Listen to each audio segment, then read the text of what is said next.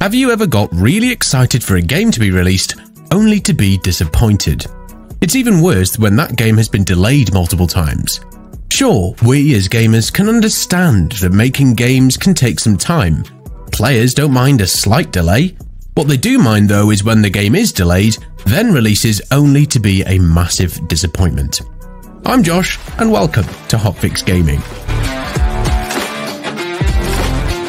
Today, we'll look at 10 that were overhyped, delayed, and didn't deliver. So, let's get started. Number 10 Atomic Heart. Now, to be fair to Atomic Heart, it's a AAA game from a brand new studio, Mundfish, which appears to be punching well above its weight, at least if the game's marketing was any indication. Trailers sold it as a visually stunning FPS with a unique alt history hook and some absolutely fantastic art direction, and while those things are all true for the game's opening, Atomic Heart's charms and superficial appeal quickly wear thin. From its obnoxious protagonist to its consistently edgy dialogue, messy story, and dull mission objectives, Atomic Heart struggles to maintain interest over its 15 hour critical path. Though clearly liberally inspired by the Bioshock franchise, Atomic Heart ultimately lacks the finesse, charm, and yes, heart of that series. It's certainly not an awful game by any means, but a clumsy swing at a laudable, ambitious concept, making it one of 2023's biggest gaming letdowns. Number 9. Brink. Trying to bank on the 2000s parkour craze, but also throw in shooter elements, Brink promised to be so much more than it ended up. Sure, it had a better level design, an extra layer of polish, and some tweaks to the objective slash class system, which could have made it revolutionary. Honestly, Brink could have easily been a hit.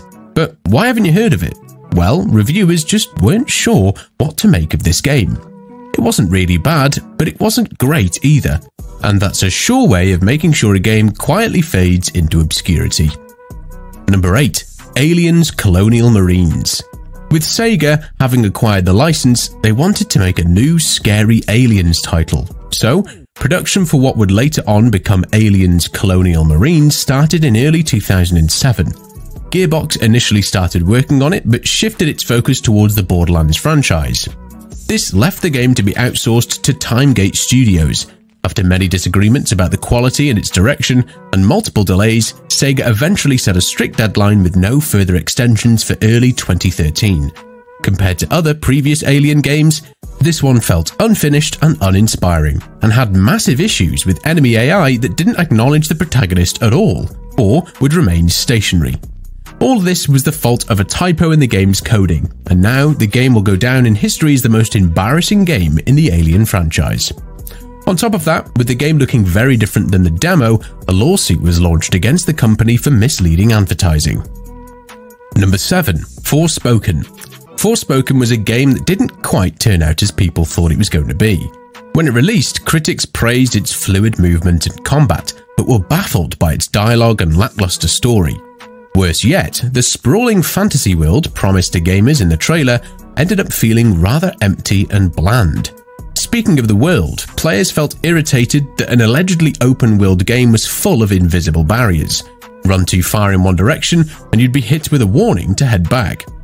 And of course, there was the constant chit chat between Frey and her magical cuff.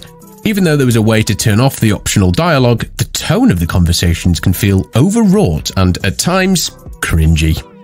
Number 6. Redfall. It's without a shadow of a doubt that Redfall is the most startlingly poor AAA effort from a major studio in 2023. From the shoddy, gossamer thin story told here through ugly storyboard style cutscenes to the charmless characters, repetitive missions, atrocious enemy AI, and an abundance of launch day bugs, it was painfully clear that Redfall was shoved out the door while it was still barely cooking.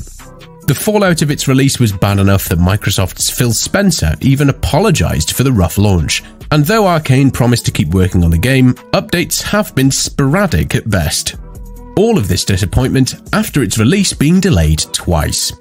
And if you're enjoying this video so far, make sure to hit the like button as it helps our channel grow and bring you more gaming content.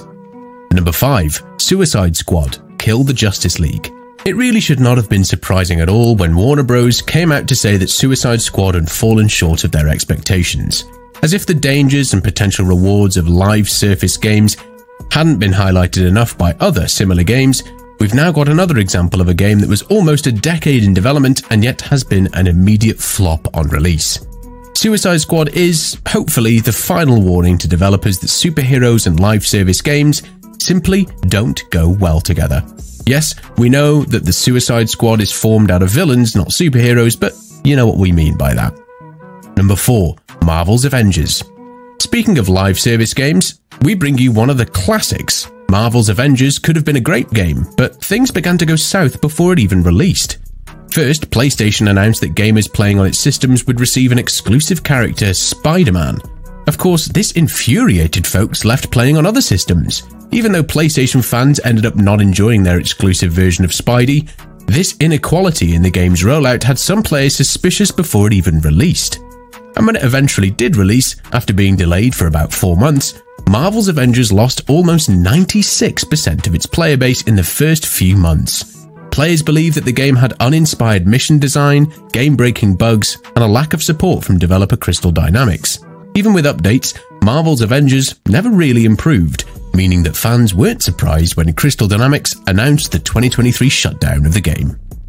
Number 3. Skull and Bones If other 2024 live service game releases, like Helldivers 2 instant successes, that doesn't mean that all live service games can be. Skull and Bones is yet another example of such a game that flopped upon release.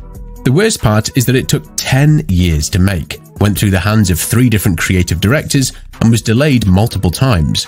All that work for it to be unfavourably compared to Assassin's Creed Black Flag. What's worse is that some players have stated that they prefer Black Flag, even though the game is a decade old. Even without directly comparing it to Black Flag, other players have found Skull and Bones' offerings disappointing.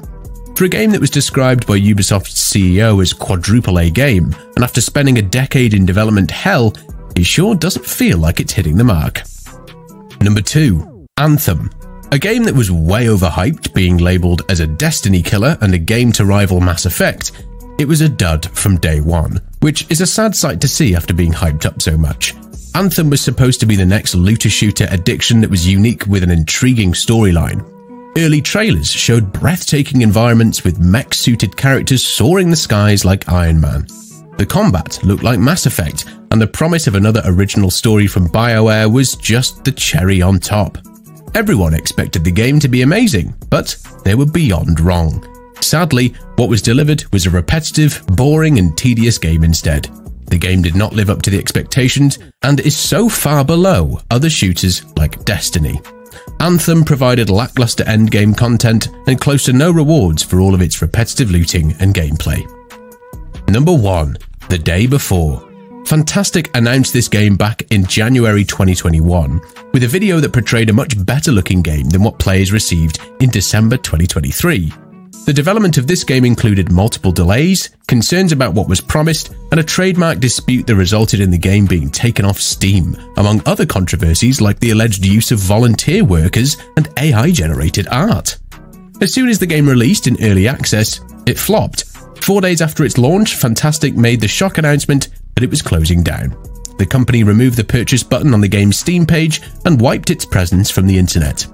The decision to close the studio and effectively cut off future support for the game has been panned by the gaming audience, with the decision effectively affirming the belief in the eyes of many that the game was and is a scam. After severe backlash from the community, they came around and struck a deal with Steam to allow players to get refunded, regardless of time spent in game. Do you think this game was a scam? What other games were delayed, overhyped, but didn't deliver? Let us know your top choices in the comment section below. And if you want more gaming content, be sure to check out our 10 iconic funny glitches video, and also the top 10 best looking games to play right now. Both videos are linked on screen.